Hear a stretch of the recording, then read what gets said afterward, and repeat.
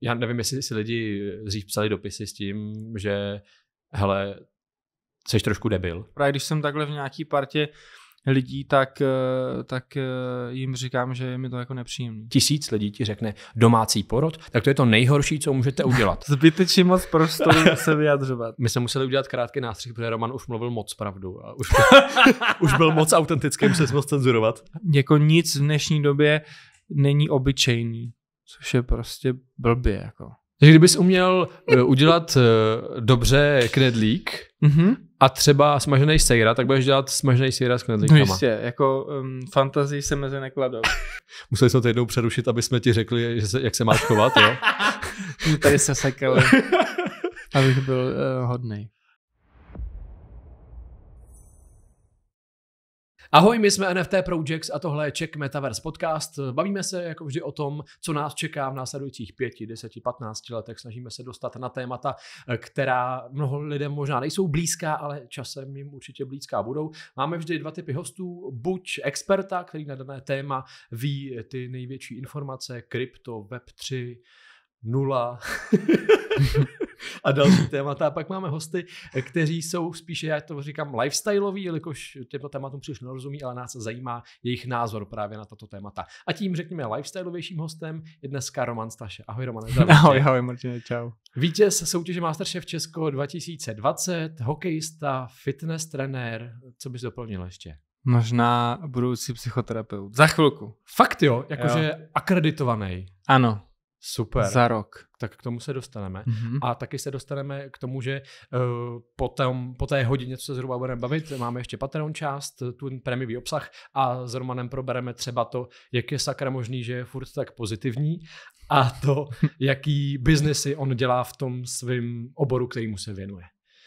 Takže začal bych tou částí, která je pro nás typická, pro náš pořad. My se jmenujeme Czech Metaverse Podcast. Když se řekne slovo Metaverse, co tě jako při tom No, tak napadne? napadnou mě ty kryptoměny, o kterých jsem mluvil teď. Napadnou tě kryptoměny? No jasně, jo? Jo, jo. jasně, jasně, jasně. Se kterýma jsem se setkal už a uh, už se s nimi nepotřebuji moc setkávat. ne, dělám si, dělám si, uh, dělám si srandu. Já si myslím, že jako vzdělání v tomhle uh, směru je hrozně důležitý. Já se přiznám, že na to nemám úplně čas a hlavně mozek teda. Zjistil jsi, že to prostě Můj není mozek pro tebe. jede jinou cestou teda. Krypto takhle a ano, můj já mozek jedu, tamhle. já jedu jako úplně jiným směrem. Nesetkali jsme se eh, někde na jako uprostřed ani ve Aha. třetině. Aha.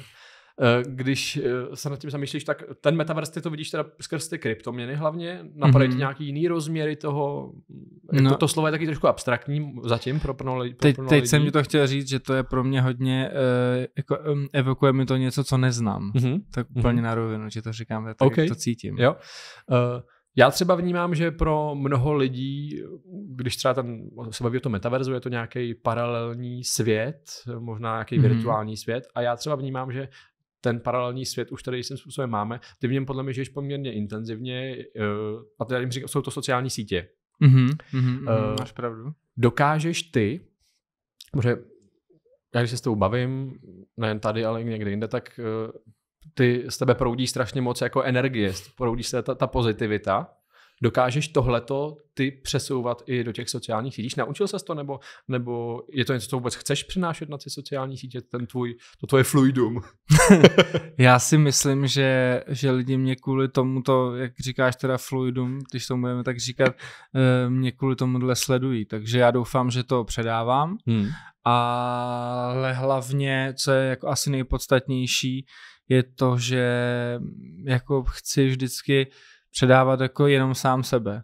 Mhm. Nechci předávat něco, co bych jako nebyl, nebo něco, do čeho bych se stylizoval, nebo něco, co bych vlastně třeba i jako nežil. A to, že jsem jako stále pozitivní, eh, tak na ten Instagram nebo na ty sociální sítě jde, což, což je super, ale ne vždycky je to jako jenom jako smích, si Hmm. myslím.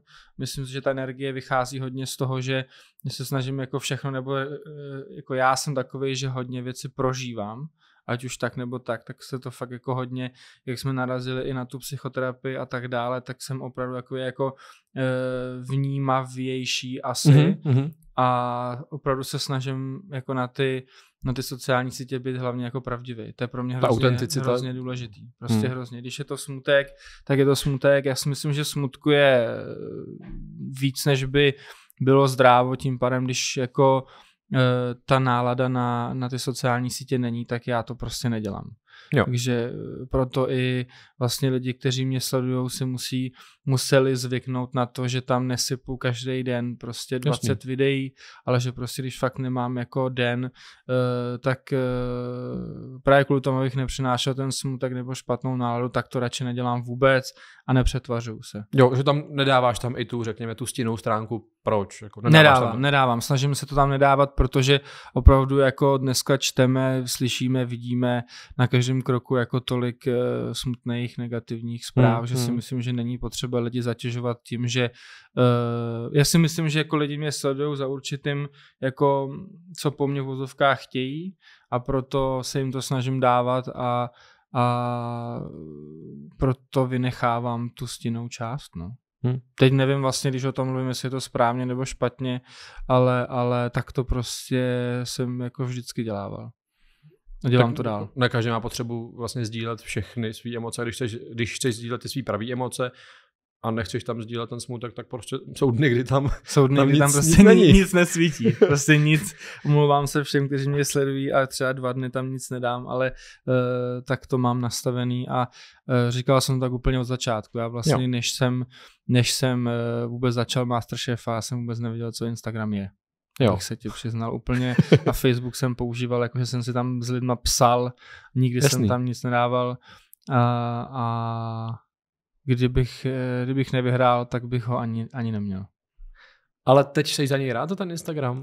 Jsem za něj rád, protože jako já třeba i sám osobně na něm jako se hodně vzdělávám Instagramem, co se mm. týče jako mm. gastronomie, takže eh, v tomhle úhlu pohledu jsem za ní 100% rád, protože když ho využíváš s mírou a správně, mm. v mém světě správně, tak eh, je si myslím velmi jako užitečný užitečný. Já, eh, když sedím, z ní byl když sedím na záchodě a scrolluju, Aha. Tak jako jeden z nejčastějších jako videí, na který tam koukám, jsou taky ty krátké, jak tam vařejí prostě. Mm-hmm. tam dělají maso mm-hmm. a, mhm. a ty tam nevím, furt vyskakují taky ty z vajíček, jak dělají takový, takový obal z vajíček, který se pak rozřízne a tak z toho vyteče. Ano, to, jako ano, fakt tyhle ty jako v vozovkách kraviny, ale mě to jako strašně baví. je, je, je, potom dobrý si to vyzkoušet, abys na to nekoukal. Jo, jo. No, já vařím docela často, vařím rád, Uh, ale tohle jsem teda neskoušel, ale už pár receptů takhle z těch uh, no. mých záchodových a to je super. koukaček už jsem zkoušel. No. a to je super, aby to nebylo k ničemu, když to, když to Máš nějakou takovouhle v úvozovkách záchodovou koukačku, to nemusí být na záchodě, ale takovýhle nějaký moment, při kterým třeba takhle prokrastinuješ, no to nemusí ani prokrastinace, ale jenom si jako uh, jezdíš. Martine, ne. Nemáš, ježiš, Já se gratuluju. snažím tomu vyhejbat. No. Jako opravdu si jako vědomě uvědomit, jako že to, to mám třeba chuť jako dělat mm-hmm. a, a po pár vteřinách si uvědomím, že to dělám a jdu od toho pryč, vypínám telefon a koukám uh, po světě. Spíš. Super. Snažím, snažím se o to jako. Snažíš se o to ve víc činnostech? Já třeba uh, jeden, jedno období jsem měl, kdy jsem uh, tenhle ten přístup je velmi intenzivně, že když jsem třeba řídil, tak jsem se i vypínal rádio, abych se soustředil čistě na to řízení. Teď řídím, tak když jsem jet, tak jsem pouze jet, u toho jsem nic nečet, na nic jsem nekoukal a prostě jsem se soustředil na to jídlo a snažil jsem se takhle každou činnost věnovat se prostě prožít. Tý, prožít, ano. E, pak to nějak se začalo ředit s tím životem a teď mi z toho něco zbylo, za což jsem rád a už to není tak intenzivní, což mi vlastně asi nevadí, ale ten, ta zkušenost tam je trošku mi z toho, z toho, co teď říkáš, mi to evokuje podobnou minimálně myšlenku nebo podobný přístup, aspoň z nějaké části. Určitě máš pravdu. Jak jsem říkal na začátku, asi všeho moc škodí, všeho s mírou a, a tohleto prožívání je, je super. Vnímám to taky hodně a fakt jako když něco dělám, tak se to snažím dělat jak nejlíp umím. Tím pádem se na to snažím soustředit.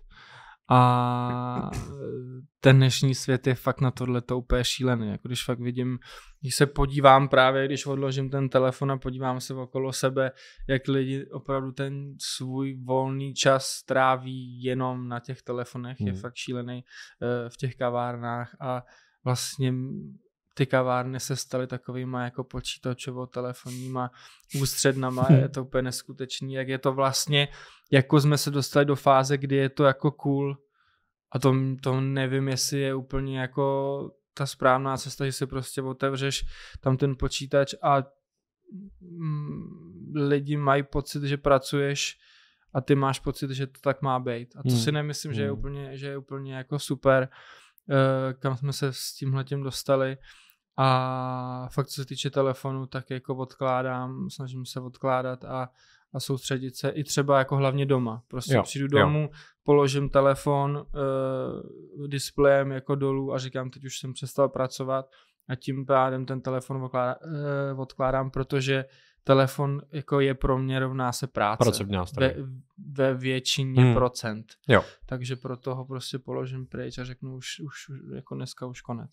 Jako uvědomuji si situace, kdy třeba sedí parta, třeba 4-5 lidí u stolu, baví se, teď jeden nebo dva jsou na telefonu, v tu chvíli si třeba vytáhnou telefon a najednou nastane moment, kdy si třeba všech těch pět lidí najednou vezme telefon, telefon. a třeba tam u toho stolu je 4-5 minut ticho, mm-hmm. tak nějak navzájem si to toleruju, protože teď najednou mají, mají těch 4-5 minut, kdy prostě jakoby tam něco jedou a pak se zase začnou bavit, že to takový mm-hmm. přijde fenomen, který tak jak už se vžil a trošku zakořenil v té, asi je to ředěný nějakýma bublinama a věkovými kategoriemi, ale Jasně. že to už jako je fenomen, který normálně funguje. Mm-hmm.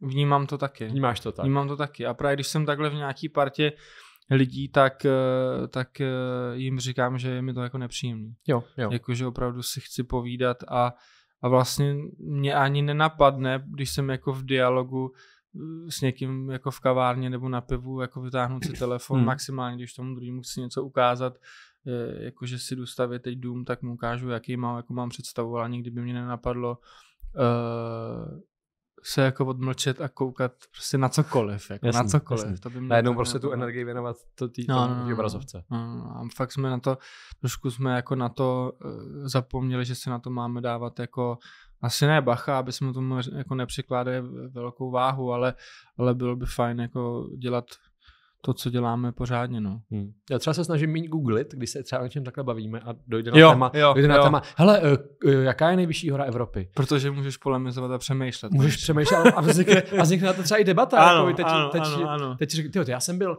já jsem byl ve Švýcarsku a tam myslím, že a vlastně můžou na to, vlastně na to navazuje konverzace. Ta konverzace najednou jako plyne přesně, úplně jinak, než uh, jaká je nejvyšší hora světa? Mount Everest, OK. Konec. a konec. A ta debata skončila. Ano, jako. ta debata, prostě Google uh, nám jako zkracuje debatní kroužky. No, no jakože, a kolik teda má? No, já myslím, že je nějakých 8700, jo, podle mě ne, a jakože jede to dál, no. A obecně uh, vadí tobě, když uh, komunikace, nebo jak, jaká je pro tebe uh, ideální styl komunikace? Teď, je. když pominu face to face, mm-hmm dálkovej, jestli jsou to telefonáty, zprávy, e-maily, messenger, uh, nevím, video, uh, videonahrávky, nebo používá se hodně audionahrávky. Teď často lidi v té zrychlené době řídím, tak u toho nahrávám zprávu. Ano, ano, to se mi stává taky samozřejmě, abych nepsal. Uh, ty jo, asi, asi, asi všechno možné. Já teda jako nejvíc uh, jako se známým a takhle používám WhatsApp. Hmm a uh, hodně si nahrávám, jakože přesně, protože hodně řídím, moje hmm, práce hmm. je fakt o tom, že řídím, takže abych prostě nestrácel nějak jako pozornost, tak uh, se snažím nahrávat a potom samozřejmě jako, jako práce rovná se jako telefonování a vytelefonovávání věcí. I když se musím přiznat, ač uh, tím možná spoustu lidí překvapím, ne úplně rád telefonuju. Fakt, mm, fakt jako nemám to. Eh, za prvý v autě mě to strašně jako vysiluje, jak fakt celý den mluvím s lidma, tak potom musím ještě trošku víc křičet, jo, jo. když jedu autem, takže si hodně dávám sluchátka a snažím se mluvit přes ně. Hmm. Uh, ale, ale jako fakt telefonování uh, není moje jako nejoblíbenější disciplína. Já se tím snažím dostat tam, že když jsme se bavili na začátku o tom metaverzu, tak uh, pro mnoho lidí a i odborníků je to, nebo to v budoucnu bude nějaký paralelní svět, třeba digitální, kam se budeme kam budeme, kdy budeme každodenně třeba trávit nějaký čas. Přijdeš domů, nasadíš si brejle, nebo jsi v práci, nasadíš brejle a vlastně i se tam funguješ v tom prostoru, potkáváš se tam s lidma v tom prostoru, v tom nějakém metaverzu, kterých může být X, mm-hmm. do nějakého tam budeš chodit.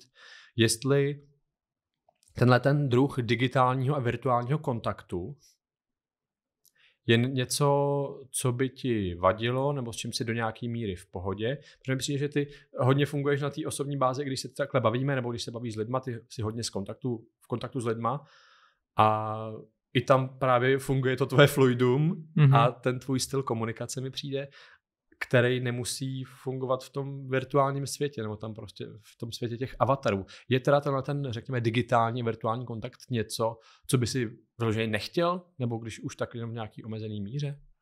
Bavíme se třeba o 10-15 letech dopředu, kdy fakt třeba to najednou bude tak, že bude naprosto běžný dvě hodiny denně trávit, tři hodiny denně trávit mm-hmm. s brejlema na ksichtě. Jsme upřímní tady. No ježiši. Uh, no je to jako cesta, cesta do pekla, no, podle mě. Je to úplně uh, pro mě nepředstavitelný. Vlastně jako dovedu si představit, že to tak bude. Hmm. Nedovedu si absolutně představit, že v tom budu já, nebo, nebo moje rodina, nebo kdokoliv, jako koho znám, že bych se s někým... Je to první, mě napadlo, když se o tom mluvil, je takový Matrix hmm. a druhý, co mě napadlo, je ty sny jako sny ve snech, že utíkáš jako od té reality do těch jo, snů jo. A vlastně eh, já i vnímám strašně moc na, na lidech, jak eh, a začíná mi to nevadit a začínám se tomu hodně divit, eh, jak jsme všichni jako pře, přemilí a neumíme si vlastně, a ta přemilost si myslím, že vychází spíš z toho, že si jako neumíme říct pravdu. Jo. A, a mám pocit, že proto hodně utíkáme i v tom reálu jako do té nereální, uh, do té nereální složky života, že si fakt jako neumíme říct, hele, Martine, mě ten rozhovor jako nebaví, pojďme od toho, dejme si něco jiného. A mám pocit, že ty lidi už dneska utíkají do nějakého, do nějaké jako pohodlné zóny, um, i v té komunikaci jako face to face, což je taky velká škoda, protože vlastně ztrácíme uh, tu reálnou, jako tu, jako tu realitu už, už teď, aniž bychom, si, aniž bychom si to jako uvědomovali i face to face, si myslím. Hmm. A, a ať pořádně odpovím na to, na co se z něj ptal, fakt si to neumím představit, uh, ale bohužel se to stane. Jako, takhle, u, u některých lidí, který znám, se to děje už teď, mám fakt kámoši, kteří jsou schopni prostě 14 hodin denně hrát hmm. hry. Hmm takže už ty jsou jako, jako na té cestě a stačí si nasadit ty pomyslný tak teda braille. To už je ono, že jo? To už jako je ty ono. sedíš před tou obrazovkou, dneska už pro mě je velký, teď vlastně to zorný pole tvoje je vlastně jenom na té obrazovce a fakt jenom chybí ten krok si to přicucnout jako na oči, no a těch, já taky takhle znám lidi, kteří stráví fakt jako hodiny, 5, 8, 10, 12 hodin denně uh, game, gamingováním. Hmm, hmm, hmm. Uh, mě tam zaujala ta jedna věc, uh, když jsi mluvil o tom, nejsme schopný, nebo možná ta schopnost upadá říkat si ty věci na rovinu. Hele, Romane, mě trošku mrzí, že jsi dneska nevzal žádný barevný tričko. nebo že jestli vznik ten nový fenomén, jestli je to třeba se vznikem sociálních sítích a tím fenoménem anonym, nebo neanonymního, že já nevím, jestli si lidi dřív psali dopisy s tím, že hele, jsi trošku debil. Protože dneska je to poměrně lehký napsat. Přijdeš jasně, někomu na Facebook jasně. a tam vlastně pod fotkou třeba dítěte nebo něčeho úplně out of context, něco úplně mimo, jsi schopný mu tam napsat, hele, máš doma bordel, nebo ty jo, tváříš se jak blbec, nebo vlastně cokoliv úplně. A je to v tom za tou, řekněme, hra, za tou zdí, mm-hmm. ne anonymity, protože tam člověk je, ale za tou zdí toho od osobnění. Ano, Říkáte to ano, na, na Facebooku ano. nebo na Instagramu. Yes, jasně. Je tohleto fenomén, který podle tebe vznikl právě se, so, se sociálníma sítěma? Určitě. Myslím si, že to hodně vzniklo tím, že jsme se jako e, přestali tím, že můžeme komunikovat přes ty sociální sítě, telefony a tak dále, hmm. tak mnohem jednodušší je to napsat, než to říct.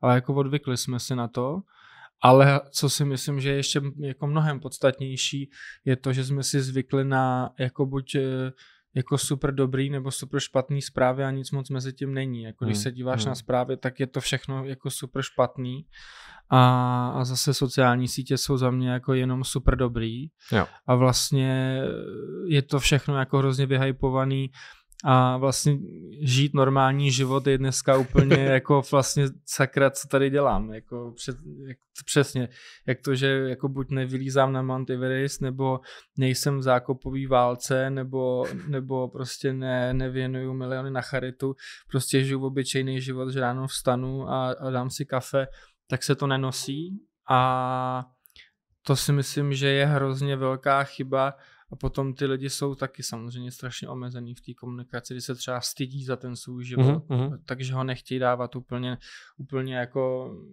e, na veřejnost. Nebo jo, a to jsou přesně takové ty maličkosti, které nás vedou k tomu, že si prostě neumíme jako podle mě už dneska říct věci tak, jak jsou. Mm. A odvykli jsme si komunikovat jako, jako face to face e, na rovinu na rovinu. Já to fakt jako, stý, jako hlavně, mně se to strašně změnilo vlastně v týmí práci, kterou dělám teď, jakože, jak já to můžu říct, show business, nebo já nevím, jak, to, jak se to nazývá. Jak to pojmenovat? No, to je jedno, asi ty v tom seš taky, tak jak to pojmenováváš ty. Tak uh, tam, tady je to jako hodně znát, jako úplně nejvíc. Hmm. Takový to, jako že lidi si to neumí říct. Což je škoda, což je škoda. Já se teda snažím být pozitivní a každému víc vstříc, takže to částečně určitě dělám taky. Hmm. A, a, ale, ale tím, že jako se nechci obhajovat, že jsem jako lepší. Jako Robin Hood, že jsem přesně, že, že jsem jako nejspravedlivější, ale, ale je to škoda je to fakt škoda, že, že, to, že to, jsme se to odnaučili. Asi. A je to i tím, jako že si neříkáme věci na ulici, že, jo, že lidi se na ulici nebaví a tak dále. Nezdraví, nebaví. Nezdraví, nebaví. Už prostě si tu cestu najdeš sám. Tak my jsme museli udělat krátký nástřih, protože Roman už mluvil moc pravdu a už, už byl moc autentický, museli jsme cenzurovat. A teda svítilo nám moc světlo, takže jsme museli zatáhnout rolety. To byl ten podružný důvod. To je, ano. tak teď se pojďme bavit tak, jak to konvence doporučují, pojďme říkat ty věci tak, jak bychom je měli říkat a nebuďme za stolik úplně jako pravdí. Dobře. ne, já ten, vnímám to podobně, tohleto nekonfliktnost vlastně, protože častokrát eh, ten, za mě ten základní princip, nebo jeden z těch základních principů, je konflikt, je ta nepříjemná Aha. situace toho konfliktu, protože jo. když to někom, s někým řešíš face to face, tak čelíš těm následkům toho, že v důsledku tě to může stát uh, život třeba nebo nějakou fyzickou újmu, nebo klidně jenom psychickou újmu, což se ti nemůže ve virtuálním světě nebo na Facebooku stát. No, nemáš tu jakoby reálnou zpětnou vazbu asi. Takovou, hmm. jakou dostaneš uh, dostaneš z očí do očí. Přesně, přesně tak. A já to třeba mám tak, já jsem to teďka, teďka jsem to řešil uh, zase v mý psychoterapii, že já to třeba přesně si na to narazil velmi dobře, že já to nedělám kvůli tomu konfliktu. Že já se vlastně jako bojím toho konfliktu. A proto Uh, proto ty věci někdy neříkám tak, jak jsou. Mm-hmm. A teď jsem zažil úplně úžasnou věc, ale uh, že jsem potřeboval doma něco vysát a uh, byl tam můj uh, jako malý devítiměsíční syn a já jsem zapnul ten vysavač a on se ho hrozně bál. Mm-hmm. A dřív u něj usínal a teď se ho hrozně bál, tak jsem byl hrozně překvapený, co se vlastně jako děje. A on na to reagoval tak, že jako se bál, vlastně na ten, na ten vysavač křičel, ale šel k němu a ošahával ho. Aha. A úplně mi v tu chvíli jako došlo, já se vlastně hodně se učím přes mýho syna žít no. Eh, svůj život zase zno, jako znovu a připomínat si ty věci, které jsem zapomněl a tohle jsem úplně zapomněl. A úplně mi připomněl, říkal jsem si, já teď tak zbal někdy v vozovkách ty pomyslný koule do hrsti a běž si k tomu vysavači, kterýho se bojíš, aha, ošahat aha. si ho a říct opravdu to, co někdy chceš. A úplně mě to fascinovalo a koukal jsem na ně, říkal jsem, to není možný. A, fu, a třeba pět minut, jako. Mm-hmm. jako byl se jako lehce vystresovaný, plakal, ale furt a bylo vidět jako, že nechce, abych mu ten vysavač vzal. No. A zároveň prostě jako se ho bál, to byl úplně neuvěřitelný zážitek pro mě asi dva dny zpátky. A fakt jsem čučel, no. Takže mě zase syn jako můj naučil uh, se toho nebát. Jenom. Takže pomyslně oš, víc ošahávajme vysavač. Tak, přesně tak, víc ošahávajme vysavač, protože čím víc ho poznáme, tím víc ho budeme bát asi. To je super. Ale jako jo, to je, to je hrozně hezký, že, že si přes, přes to malé dítě logicky si má rodič toho uvědomit hodně mm-hmm. a tohle to je rozměr, který asi mě by nenapad a, a je to super. Jo, jo, fakt jsem to koukal. No. A, když, když už jsme se teď dostali k tomu tvýmu tématu psychoterapie, jak ses k tomu dostal, jak tě to napadlo? No já jsem, já jsem sám uh, asi sedm let zpátky uh, měl psychoterapeuta Aha. a měl jsem ho z prostého důvodu, že jsem nebyl blázen, ale chtěl jsem jako, myslím si, že by to mohl podstoupit každý, protože je to fakt strašně zajímavý. A je obrovský rozdíl mezi psychoterapií a už tím, jako, že jsme nemocní, že terapeut se opravdu mm-hmm. stará jenom o to, aby ti bylo lépe, když je ti relativně dobře. Dobrý potom jako terapeut ti, pokud je ti špatně, pošle už dál, aby tě zamedikovali a tak dále. Takže já jsem sám chodil na, na, na psychoterapii a ten můj psychoterapeut vystudoval tu školu, na kterou teď já chodím a dělám prostě psychoterapeutický výcvik, který trvá pět lomeno šest let. Mm-hmm.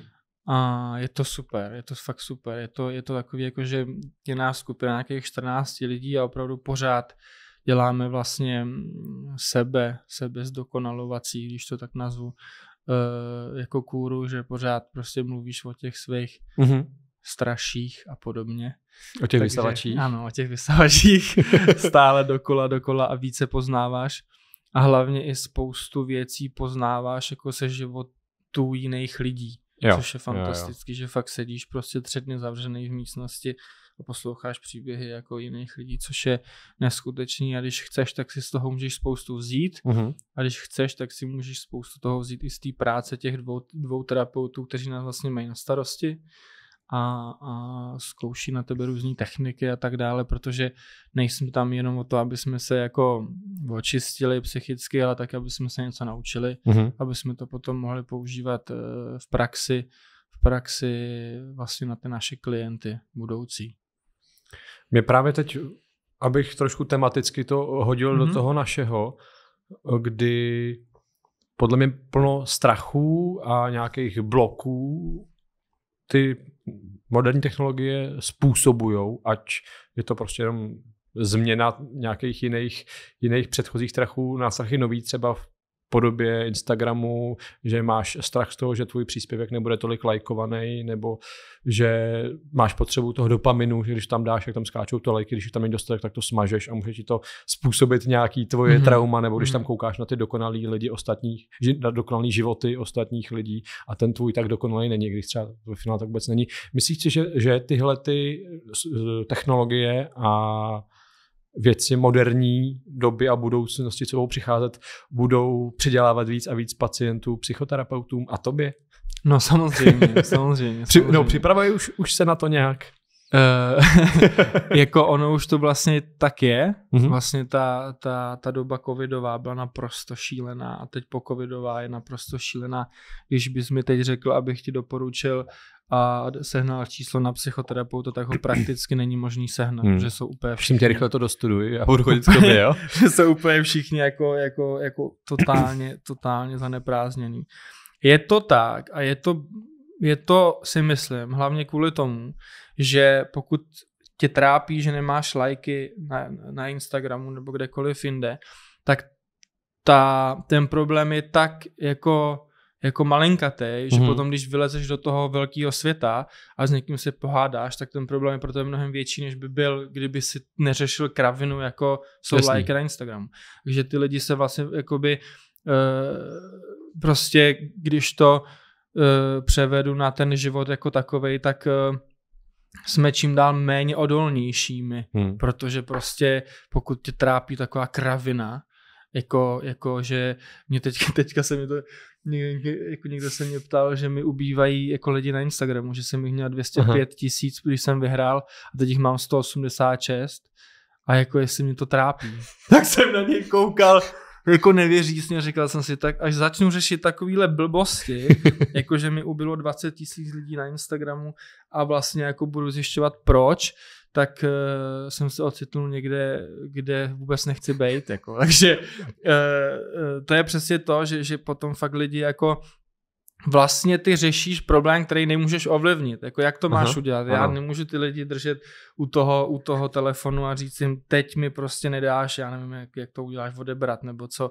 Tak eh, já to přece nemůžu ovlivnit, tak mě to ne, nemůže trápit, protože prostě, nebo to, kolik mám lajků, taky No minimálně by si šel přes tu svou autenticit- autenticitu a pravdivost, když by si už se snažil to, co dáváš na ty sítě, aby to víc zaujalo ty lidi nějak tomu modifikovat asi. Kdyby Jo, si řekl, kdyby ti, ty aplikace by ti vyflusly, hele, lidi ti odcházejí nejvíc, když tam dáš fotku, na který je tohleto, tak tu tam Jo, prostě jo, nedávej. jo, Ale jo, já jo. to tam rád dávám, tohleto.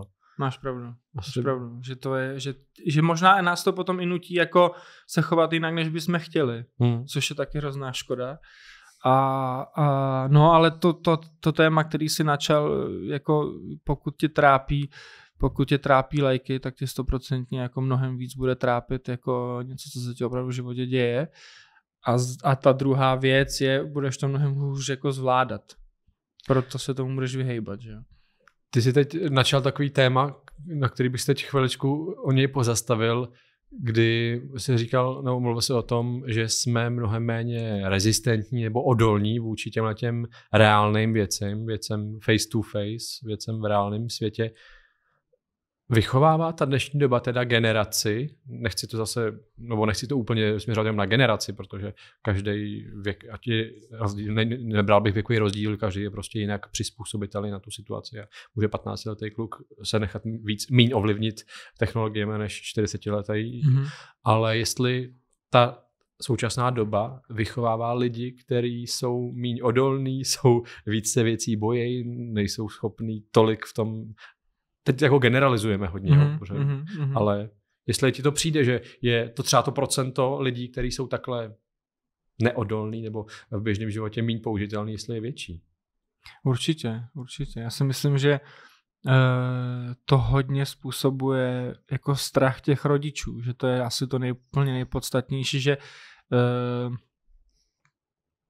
jako doba mých rodičů byla taková, že těch informací bylo byla ne třetina, ale jako setina toho, co se dozvíme, doz, dozvíme dneska. Tím pádem se strašně filtrovaly i ty negativní věci. Hmm, hmm.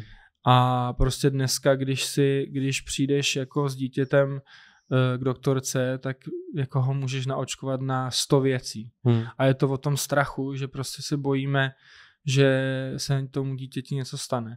A kdyby jsme se to nedozvěděli, tak, tak to nikdy nebudeme implement- implementovat do svého života a nebudeme se toho bát, protože to ani nebudeme vědět. Hmm. A proto si myslím, že, že se vychovávají takový děti, protože ty rodiče mají moc informací o tom, co se všechno může dít.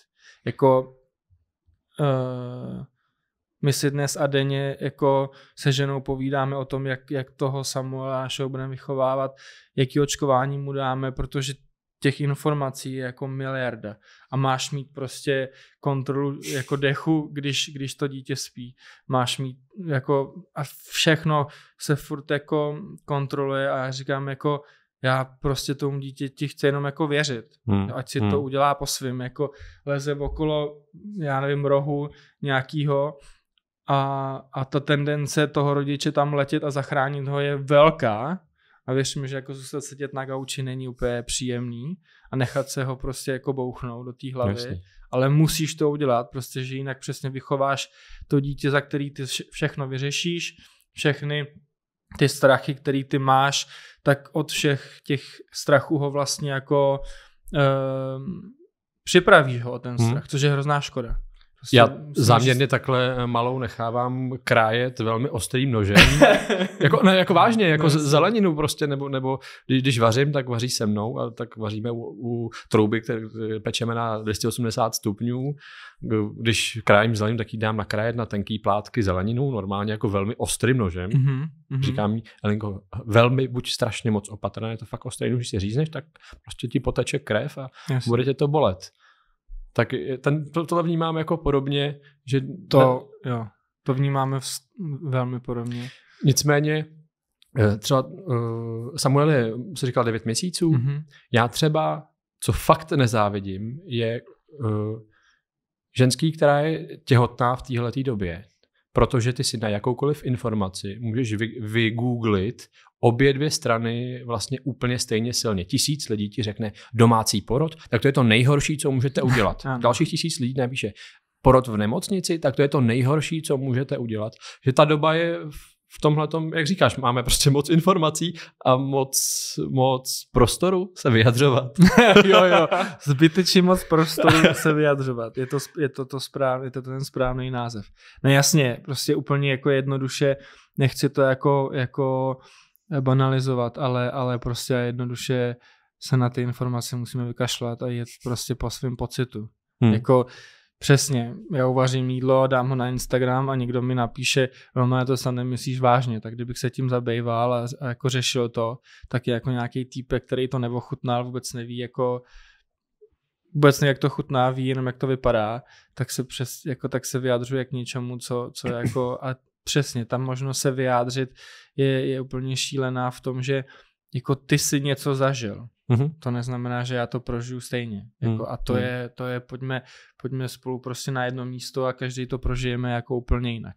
Takže jako je to vlastně jako hrozná škoda a ty strachy jenom jako přenášíme pořád jako jeden na druhýho úplně jako za mě zbytečně a a místo toho, abychom se jako zabývali něčím, co nám třeba jako udělal radost. No. To mi přijde, že ta, že ta fakt ta negativní informace tím, že se šíří mnohem rychleji než ta hmm. pozitivní, což je zjištěný a, a všichni to teď používají, tak je to, je to jako na škodu a myslím si, že tím se hodně řítíme jako do nějaký propasti, ve který bude jako sakra těžký jako jako vylíst. No. Teď myslíš tu extrémnost, tu potřebu, všechno jo. ve velkým. Nemůžeme napsat, eh, včera byla bouřka, ale napíš Armagedon. Armagedon. Armagedon. Nebo bude vítr až 50 km v hodině, já nevím. 70, 90 málo, třeba. Jako, jo. Prostě jo, bude jako hurikán a tak. Takže prostě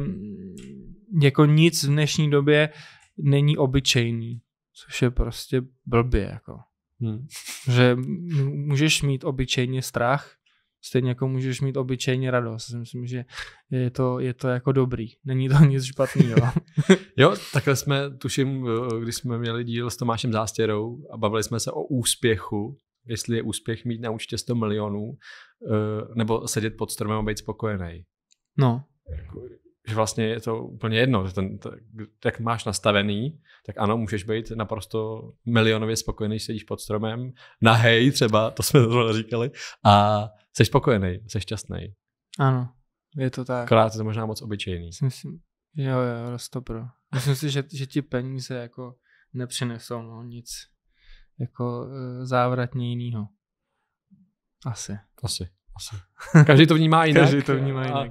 A každý si umí pod nima představit něco jiného. Já, já vnímám peníze jako, jako energii. Ty něčeho dáváš energii a z toho se ti vracejí peníze a peníze je za mě taková jako materiální podoba energie. Mhm, to je zajímavý. Tím jsem nikdy tak nepřemýšlel. Že si to pravda nevím, to říkám, to je Až můj takový. Až autem, tak se nad tím zamyslím. Slom si rádio, Pojď, pojď. Ale zase ne moc, ať se vyvěnuješ taky tomu řízení. Podívám se na to, to je dobrý. Ty jsi zmínil věc, která mě zaujala, nebo zaujala. My jsme se bavili o tom jídle. Ty dáš na Instagram jídlo, někdo je ti schopný k tomu napsat, eh, to se děláš sám do Romane. Řešíš, když vaříš, řešíš jenom to jídlo, jako aby to chutnalo, dobře vypadalo, nebo máš za vařením i nějakou v fuzovkách filozofii, nechci vařit moc z masa, nebo chci naopak vařit hodně z masa. Myslím teď ty filozofie toho, že jestli udržitelnosti, nebo Jo, jestli, jestli jsi ovlivňovaný, ty nemusíš zvenku, ale klidně třeba jako vnitřně tebe, co, co ty řešíš při vaření?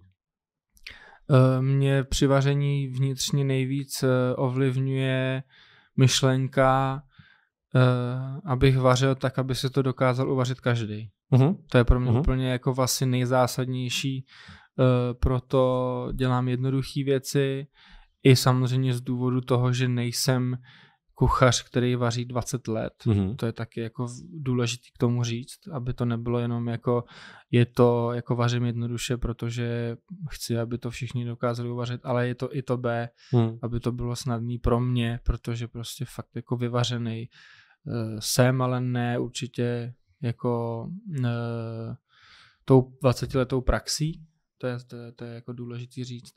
A chci, chci, vařit, chci vařit a snad to dělám, kromě pár jídel, jako fakt tak, aby si to dokázali i ty lidi koupit. Jo.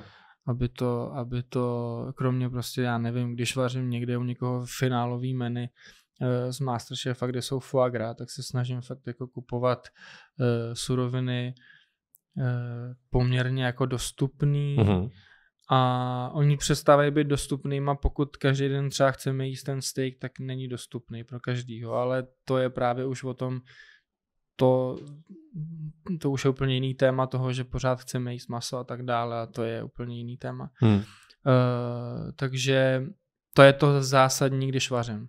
Samozřejmě čím díl vařím, tak tím ty techniky a tak dále uh, se mi to víc jako, jako vrývá pod kůži, takže to pro mě standardnější, takže už jsem se teď přistihl někdy, že jsem vařil něco a myslel jsem si, že to je obyčejný a potom někdo napsal, že to nedokáže a mě vlastně už nenapadlo, že jsem se zase někam posunul. S tím svým takže... setem u těch zku... tak, tak, zkušeností tak, tak. a skillem už jasný. Přesně tak, přesně tak. Takže uh, na to si musím taky dávat bacha, ale prostě pro mě je hrozně důležitý být jako ten jeden jako z, jako z, jako z nich prostě Jasný. být prostě mezi, mezi těma uvozovkách, jako teď to nechci nějak jako přímo prostě mezi těma obyčejnými lidmi, protože jsem jeden jako z lidů, který prostě na, náhodou se ocitnul v televizní show a vyhráli.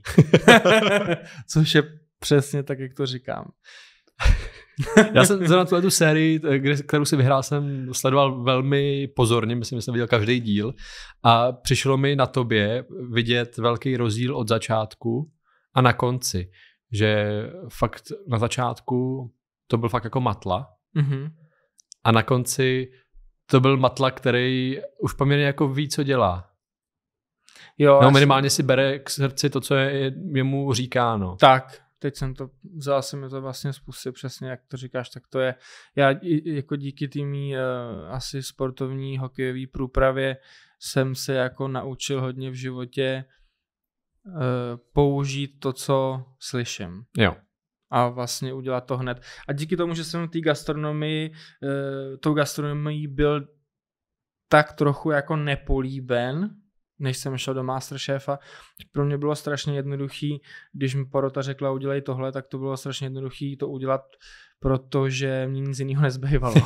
Takže pokud máš jednu cestu jenom, tak eh, jí prostě jdeš. Uděláš. A, a zase, kdybych měl něco naučeného a oni mi řekli, že s tím masem nebo uh, s tím, co mám zrovna před sebou, ať něco udělám a já bych to neznal a znal bych tu svoji pohodlnou cestu, tak bych ji určitě šel, ale já jsem ji většinou neznal, hmm, hmm. takže jsem šel tou cestou eh, té poroty a to bylo to nejlepší, co jsem mohl udělat.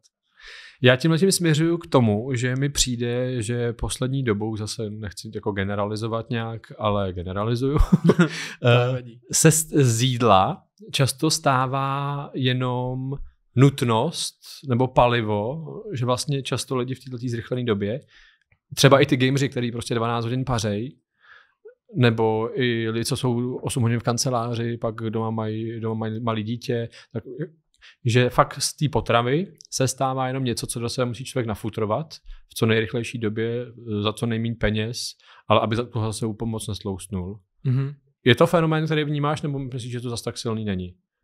Je to fenomén, který jsem vnímal, vnímám ho stále, ale mám dobrý pocit z toho, že mám uh, dojem, že to začíná být jako lepší. Mm-hmm. Myslím si, že lidi eh, to gastro a to je právě přesně to, co si myslím, že se teď fakt jako děje i díky, díky Masterchefovi a, a, a jako jiným soutěžím nebo, nebo pořadům, že lidi začínají to jídlo vnímat i tak jako, že se u něj dokážou jako zastavit, dokážou si vychutnat dobrý jídlo, dokážou jít do, do, do dobrých jako restaurací a v mém světě teda aspoň se to trochu mění. Uh-huh. V té mý bublině uh-huh. uh, je to trošku lepší, než to bylo. A teď nevím, jestli je to tou bublinou, že jsem se přesunul lehce do jiný, anebo že se to opravdu jako obecně mění. To nevím, ale rozhodně si myslím, že z většího procenta je to to, co říkáš ty, že, že lidi to opravdu využívají jenom jako palivo pro tělo. Jako, to, mi, to, to mi dává jako jediný, jediný rozumný důvod toho, proč existují fast foody. Potřebuješ, jako ty masové franšízy potřebuješ v co nej, nejkratším čase dostat nějaký jídlo, který do sebe prostě nasoukáš, není zase tak drahý, mm-hmm. nebo mm-hmm. relativně, relativně, někde docela je, už, ale už je to, už je to zvyk že to mi přijde jako jeden z mála důvodů, prostě proč tohle to funguje po celém světě. V jednoduchosti, možná zkratkovitosti. Určitě. Nevím, já jsem se nad tím nezamýšlel víc, jako, ale... Já si myslím, že jako to určitě, to určitě je pravda. Jako když, když jedeš tím autem a potřebuješ se rychle najíst, tak je to vlastně jako nejjednodušší, nejlepší způsob. A já to taky využívám, mě, to se nestavím taky, někam já jako... Taky, já taky. Co mě, co mě jako zaráží, když nad tím přemýšlím, je to, že tam jako nedělají zdraví věci. Jo. To nechápu vlastně. Teď jsem se nad tím úplně zamyslel, že si, jak si to řekl, že bych se jako někde zastavil a dal bych si tam jako rád jako dobrý salát. Hmm. A vůbec by mi to nevadilo. A on jako skoro nikde není. A nebo je, ale, ale je prostě jako, mm, jako nedobrý, no. Což je, což je, což je vlastně hrozně zvláštní, že to nikdo, že to nikdo nedělá, že v tom je vše, jako všude, že pečivo, mouka a tak dále. Ten, kdo to nechce jíst, tak má smůlu a nemá šanci. Takže Přitom dneska teda už se jako bez lepku, bez laktózy, všechno se dá uvařit, takže to vlastně je dobrý. Jo, rozhodně. Dá, ale stojí to víc peněz a času. Hmm. To je to, o čem mluvíš. Když se budeme zamýšlet o nějaký budoucnosti stravování, o budoucnosti eh, toho, kam směřuje obecně stravování, myslíš, hmm. že právě třeba to, že ty věci budou uh, zdravější, možná udržitelnější? Je třeba podle ta udržitelnost podle tebe ta věc, na kterou se bude nejvíc klást důraz v budoucnu, co se stravování a jídla týče? Udržitelnost, jak to myslíš? Třeba toho, jak se to pěstuje, třeba už jenom, už jenom to, že často velký argument eh, vegetariánství nebo obecně ne, ne, ne, toho ne, ne, nejezení masa mm-hmm. je argument toho, že na kilogram hovězího je spotřebováno 100 litrů vody na to, aby ta kráva mm-hmm, vyrostla a to, mm-hmm, to obilí, který jí a všechno to. Tak to, touhle myslím do udržitelnosti, obecně udržitelnosti stravy. Chápu, chápu. Já doufám, že se tam, že se tam, že tam míříme. Uh, mám obavu, že ne, ale doufal bych, že, že jo, ale myslím si, že ne. Myslím si, že nás ta, uh, jako, jak to říct, uh, že nás ta, ta, ta masová vlna stejně jako uh, dožene a pojedeme prostě pořád ty samé věci a oni budou akorát čím dál uh, víc jako napuštěný Ečkama, aby vydrželi. Mm-hmm. A, a myslím si, že se nám to ne, jako nepodaří, protože uh, opravdu ta doba je čím dál jako rychlejší, rychlejší a ten, kdo není ve spechu, je divný mm. a na, fakt na to nemáš čas, takže uh, nemyslím si, že nemyslím si, že uh, jdeme správnou cestou, ale bohužel si myslím, že jí půjdeme dál. Co se týče jako jídla, uh, surovin, potravin, jak je pěstujeme a tak dále. Myslím si, že i těch zvířat, že to bude pořád stejný. Mluvil jsi o nějaký ideální cestě, nebo minimálně, že jsme se, se odchylujeme od toho, kam by možná mělo směřovat to stravování, obecně potraviny. Tebe napadá nějaká ideální cesta, nebo minimálně směr? Jo, rozhodně mě to napadá a přemýšlím o tom, nechci říct dnes a denně, abych nepřeháněl, ale opravdu jako hodně, e, i když vařím vlastně u těch rodin doma a tak dále, jak máme obrovský nárok na velikosti porcí mm-hmm. a na to, co, co na tom talíři máme, jako aby tam vždycky bylo maso, aby tam, takže určitě e, jako můj styl stravování je hodně takový, že jako fakt se snažím jako nepřejídat se. Mm-hmm. Ne, jo, prostě jako Čech má pocit, že se dobře najedl ve chvíli, kdy je přejedený a dal se těch pět knedlíků. A mám pocit, že se to jako hodně pořád drží. Aha. A pokud prostě člověku nedáš prostě na ten talíř jako tunu jídla, tak eh, si přijde odbyt.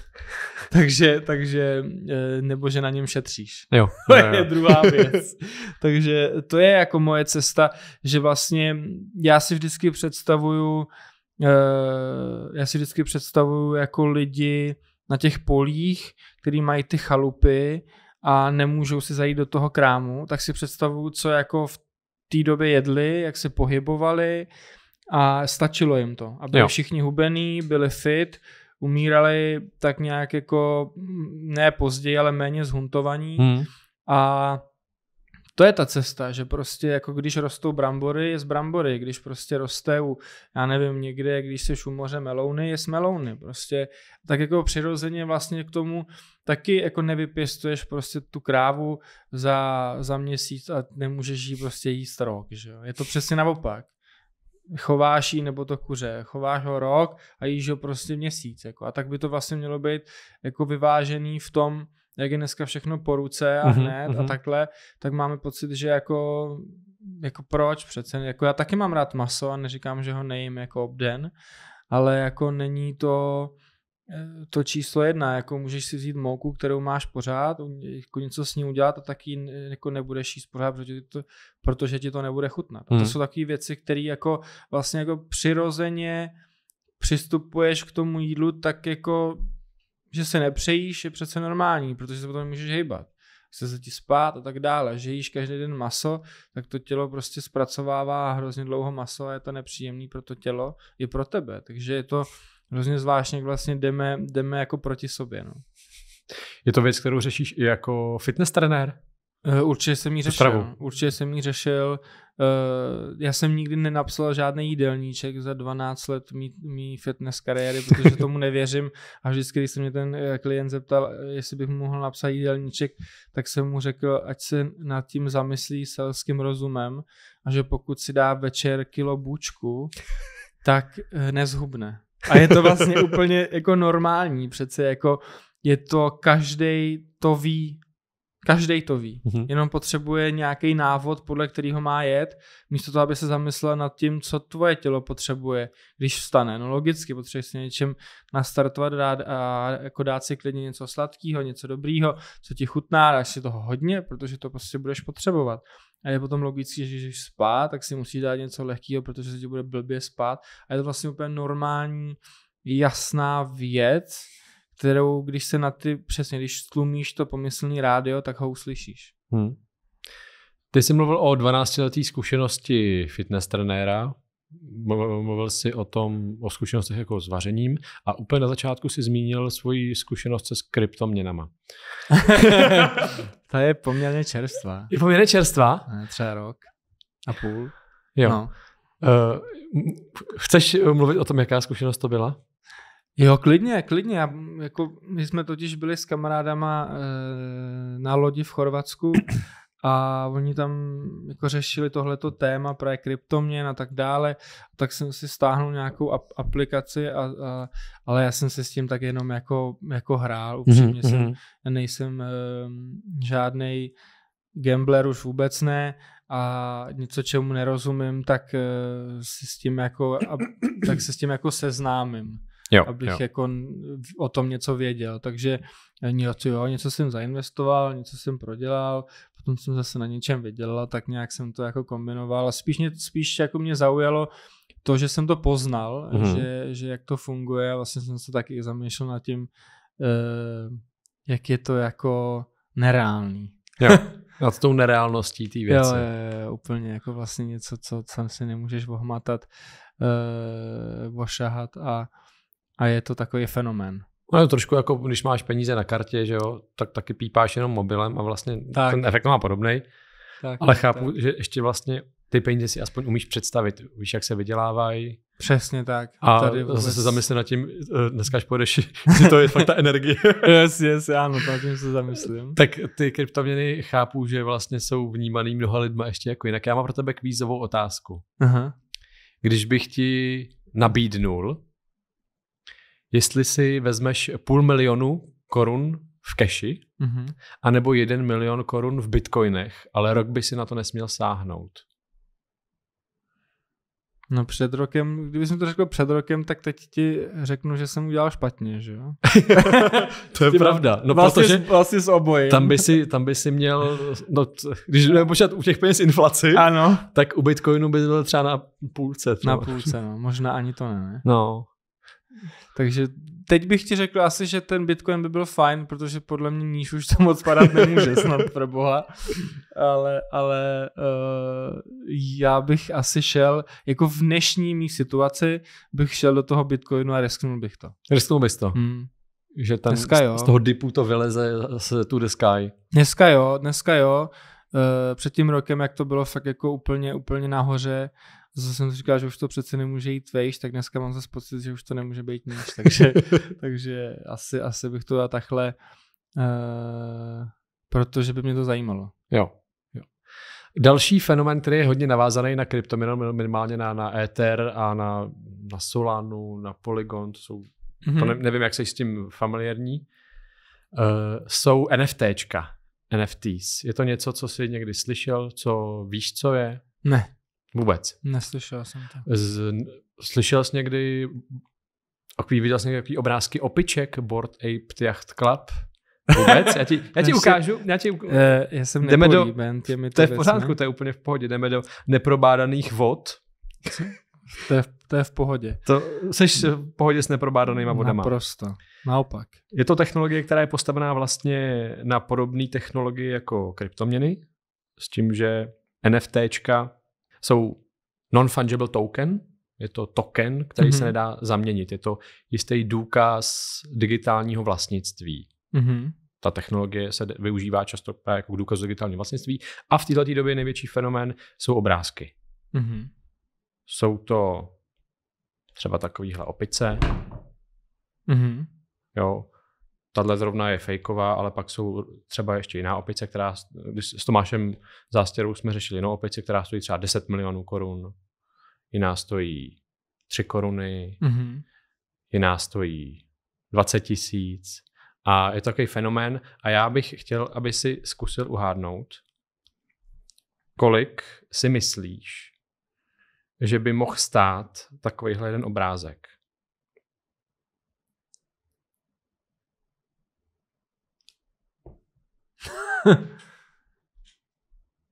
To je nějaký Goblin. hodně zničený hobit.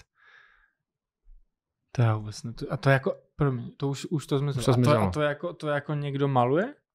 Nebo Jsou to, se vytváří? tyhle ty zrovna se vytváří, ty jsou automaticky generovaný, že vlastně ten tvůrce vytvoří ty jednotlivé části, oči, uši, pokrývky hlavy, Mhm. těla Mhm. a počítač ti to automaticky vygeneruje třeba 10 tisíc takových různých z těch parametrů, které jsou tam vystavený a ty si takhle zakoupíš nějaký tenhle ten obrázek. Tyhle, ty, to je jakoby, tyhle ty kolekce jsou používané jako profilové fotky nejčastěji. Ty gobleni, ty opice. Jako takový dluhopis. Je to braný často jako investice teď, ano. Mhm. Mhm. Kdyby si měl typnout tady toho goblinka, kolik třeba Jako já stojí. bych za něj dal třeba litr, jako. Dal bys za něj litr, ale tak to je dobrý. A jo? Já myslím, že uh, plnost těch, z těch sérií, když se těžily, nebo když, když šly jako do oběhu, tak stály třeba litr, dva litry, tři Mhm, litry, čtyři mhm. litry. Tenhle ten tuším, uh, který jsem, jsem ti ukazoval, tak ten se prodal za 70 éter, Mhm. což dneska, když se bavíme v těch kurzech, nějakých 1,3 čtvrtě milionů. Ale třeba když jsme se o tom bavili předloni, nebo loni, loni, loni v létě, tak by to mohlo být třeba 7 milionů korun. Mhm. Je tenhle ten fenomen jde úplně mimo tebe, ale jsi schopný ho pochopit? Vnímáš to jako něco, co je úplně podle tebe nes, jako nesmysl, nehmatatelný, nebo mít obrázek v počítači, který stojí třeba i 20 milionů, je něco, co pro někoho může dávat smysl? Já si vždycky říkám uh, úplně jako jednoduchou otázku, co když to jako vypnou? Hmm. Víš, jako, No, jasný. stejně jako Instagram, což jako vypnou? Co budou dělat ty lidi, kteří nejsou na tom závislí jako finančně? Aha, aha. A to je vždycky tohle mě vlastně jako tahle ta myšlenka eh, toho, jak jsou na tom lidi jako závislí, teď myslím ne jako, jako gambleři, ale jako, jako finančně, tak mě to vlastně jako hrozně, ne jako děsí je velký slovo, ale fakt mě to jako To znepokojuje. Si, jako jak je to fakt jako úplně jednoduše, jako fakt co když to vypnou, co když, co když uh, ten obrázek jako nechtěně vymažeš, nebo jako co budeš dělat. Takže eh, jako já dokážu pochopit asi, co se děje, Hmm. uh, ale, ale vždycky si říkám, jak je to jako pomíjivý, no. To je asi to správné slovo. Jo. Tak jako je to úplně mimo že v tom, že v tom, eh, a to je to, to co si říkal ty, že v tom ta, že ta energie není žádná. Tam nikdo nedal vlastně, aby to vzniklo, tak ano. tam nebyla daná ta energie, minimálně dostatek té energie. Je to jako pofiderní strašně, jako je vzdušný, takový jako ne, absolutně ne to no, neuchopitelný. To, zvláštní. to chápu, ten, ten pohled na to vlastně. Ona, třeba ta technologie zatím je poměrně užitečná za mě, ta technologie za těma NFTčkama, kdy v tom digitálním světě, do kterého se dostáváme čím dál hloubš, ať chceme nebo nechceme, mm-hmm. tak tahle technologie ti umožňuje v tom digitálním světě něco vlastně jakoby vlastnit. Mm-hmm. Tam je to důkaz toho, že to je opravdu jenom jedna tahle ta věc a tu vlastním já. Vlastně máme tu potřebu, to, co jsme schopni udělat tady v tomhle světě, že ten mobil a ten mikrofon je můj, tak se to snažíme nějak narobovat do toho světa, do kterého se pomaličku mm-hmm. přesouváme. Mm-hmm. Umíš si představit, že se tam ten svět přesune nějak víc a ty budeš teda stát v opodál a, a sledovat to? Odstěhuješ se někam na vesnici? A... To, to určitě udělám. Někam jako do lesu. No, v, té, v tomhle světě jako bych neuměl jako ne, no takhle, já v tomhle světě neumím žít a, a vlastně mi nic jako, jako neříká a proto, proto si myslím, že se mi to nikdy nestane. Asi, že bych jako byl na něčem takovýmhle třeba i finančně závislý. Takže se mi to si myslím jako vyhne, ale nikdy, nikdy neříkej nikdy. Taky jsem nevěděl před rokem, co je Bitcoin a teď už to vím. Takže a kdybych tomu, jako, kdyby mě to chytlo a, a vlastně jsem to zkoušel, kdyby mě to chytlo, takhle jsem jednou zkusil poker, který mě hmm. chytil a baví mě to strašně hrát, tak uh, mě může takhle chytit cokoliv, ale ale vlastně mi to přijde, když, když uh, se nad tím zamyslím jako obrázek, tak mi to přijde vlastně jako přirozený, že se to děje, protože ta doba tam je. Mm-hmm. A, a lidi jako milují něco vlastnit a, a vlastně je to nějaká potřeba něco vlastnit. Takže eh, chápu, že v dnešním světě, pokud je to víc digitalizovaný a bude to ještě víc samozřejmě, tak potřeba vlastnit je jedno, jestli vlastníš obrázek nebo auto a pořád se cítíš jako jako, jako lépe, když to vlastníš. Takže vlastně mi to dává logiku pro lidi, kteří jsou v tom světě a je pro nich podstatný, hmm. tak v tom hmm. jejich podstatném světě je pro ně podstatný něco vlastnit. Takže vlastně jako logický, když se to řeknu takhle. Jak jsi na tom s kreslením? Hrozně. Jo? Hrozně. Super. To nakreslím jako vůbec nic. jako, tě, na, na konci každého dílu necháme našeho hosta si vyrobit svoje vlastní NFTčko. Mm-hmm. Vlastně to bude je to jednoduchý, prostě nakreslíš obrázek, který my z NFTčku, uděláme z něj NFTčko. Uh, takže máš teď chviličku na to, aby si se rozmyslel, co nám nakreslíš. A potom na to samotné nakreslení budeš mít jednu minutu. Minutu, jo? No. Co? Já nevím, já se nemůžu přemýšlet, protože já mám takovou, takovou uh, můj mozek nedokáže přenést mojí ruce, co se má stát. tak to bude zajímavé. Já si jako něco představím a říkám si, tyjo, to by bylo hrozně hezký, kdyby, kdyby to vzniklo. No a nakreslím jako úplně něco, co nedává smysl. Takže já vůbec nevím, co, co nakreslím. Něco vytvořím. OK, tak jdem na to. Tak Romane, uh, nastavím ti tady teda tu jednu minutu mm-hmm. a můžeš začít teď? Teda, uh, no. Jako, mě teda fascinovalo, že uh, klikem dvěma prsty se to maže, jo. To že se dá vrátit zpátky. To mě jako úplně nadchlo. Jsem jako fakt jako ne, nepolíben poměr, poměrně dost technikou. Aha. Hele, uh, zajímavý zatím. Kolik mám času? Máš ještě 32 sekund. Jsi v polovině zhruba. Máš to rozvržený?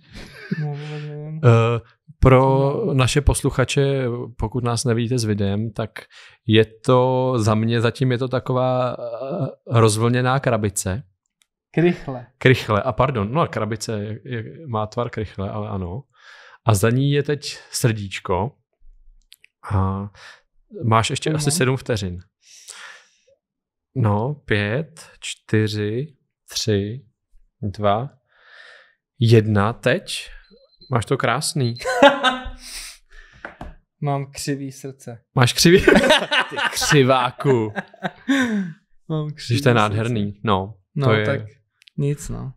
Dobrý, Prostě Ivo, takhle. prosím tě, ještě ti dovolím po, už po, po limitu, jestli se mi tam podepíšeš. Jo, Pod podpis někam mi tam hoď. ještě. Nádhera. Dobře, eh, můžeš to nějak popsat, o co go? Ne, je to jediný, co mám nakreslit. Krychle a srdce. Je takhle, je to... prostě využití, využití toho, co umíš. Prostě potenciál uh, kreslící jsem využil svůj na 100%. Takže kdybys uměl eh, udělat eh, dobře knedlík Mhm. a třeba smažený sejra, tak budeš dělat smažený sejra s No knedlíkama. jistě, jako um, fantazii se mezi nekladou. Takže určitě bych dělal tyhle dvě věci. Teď jsem někdy byl na vaření a podepisoval jsem zeď a chtěli po mně, abych tam nakreslil řektvičku a já vůbec nevím, jak jsem, jako, tak říkám, no tak to je jednoduché, budeš kolečko a, a lísteček. Říká, vůbec řektvičku neumím, takže jsem... Nakreslím krychle. nakreslím. Říkám, já umím jenom klich, nebo srdíčko, tak co chcete z toho? No, tak, takhle nějak jsem, takhle nějak funguju životně, co se týče kreslení. Super. Roman, já ti hrozně děkuju. Bylo to velmi příjemné povídání. Eh, Témat jsme projeli poměrně docela dost. Eh, To Od, od zdi ke zdi jsme to, teda, vzali. To teda. A ještě jednou děkuju. Teď se vrhneme za chviličku na tu prémiovou část ještě na Patreonu, nicméně vy nás sledujte na Facebooku, Instagramu, TikToku, Discordu, na YouTube, tam si nás můžete přihlásit, poslouchat nás můžete ve všech svých oblíbených eh, podcastových aplikacích na Spotify, Apple Podcast, Google Podcast a tak dále a tak dále. A doufám, že se vám ty naše díly líbí, tak nás klidně ohodnoťte. A to byl tady Roman Staša, který Já s- to s námi hezky tady prožil. Já strašně moc děkuji za pozvání, bylo to moc příjemný. Doufám, že se vám to bude hezky poslouchat, možná na to i koukat. Možná to i koukat. Děkuju to bude mít s tím, Martine. tou přidanou hodnotou. Já ti Díky. děkuju.